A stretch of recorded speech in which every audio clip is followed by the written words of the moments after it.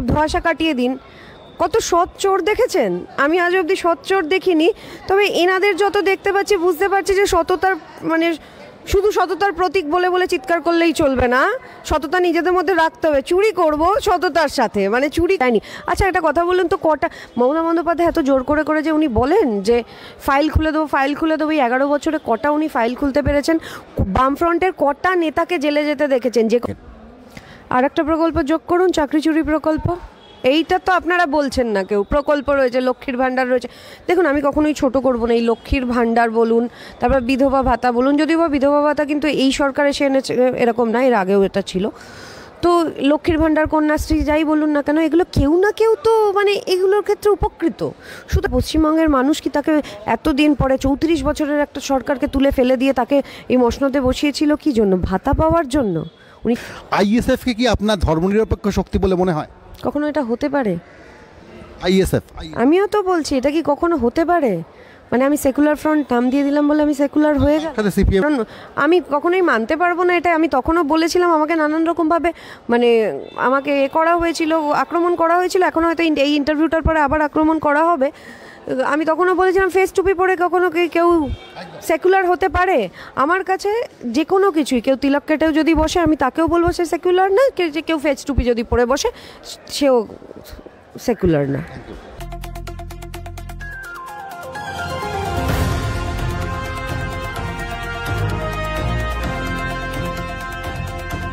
মুখে আপনাদের সবাইকে স্বাগত। আর এই মুহূর্তে সেই অপ্রীতিকর প্রীতিকর মানে নিশ্চয়ই অপ্রীতিকের নয় প্রীতিকর আমাদের সঙ্গে রয়েছেন এবং প্রীতিকরের নতুন কোনো পরিচয় দেওয়ার দরকার নেই। ফলে প্রথমেই স্বাগতম প্রীতি ম্যাডাম। অনেক দিন পরে কথা মুখে আবার এলাম। আশা করব ইন্টারাকশনটা ভালোই হবে। আশা রাখছি ম্যাডামের সাথে ইন্টারাকশনটা আমাদের ভালো হবে। আচ্ছা আপনার কি নতুন ফ্যান হয়েছে গন্ডেরি রাম গন্ডেরি রাম কি যেন বাটপাড়িওয়ালা? না তো। দেখছিলাম আপনার একজন ফ্যানের নাম হচ্ছে গন্ডেরি রাম বাট ফ্যানের আমাদের আমার ফ্যানেদের সাথে অনেক দিন আমার ইন্টারাকশন হয়নি। মানে যদি আপনি বলেন ফ্যান আমি তাদেরকে ফ্যান বলি না আমি সমর্থক বলছি। এরকম একটা ফ্যান গন্ডেরি রাম বাটপাড়িওয়ালা। বাটপাতদের থেকে আমি দূরে থাকতে পছন্দ করি। সেটা ফ্যান হোক ফলোয়ার্স হোক আর অন্য কেউই হোক না কেন। ওকে এবার আমরা মূল কোয়েশ্চেনে যাই। রাজনীতির সেই প্রীতিকরের সেই তীব্রতায় যাই।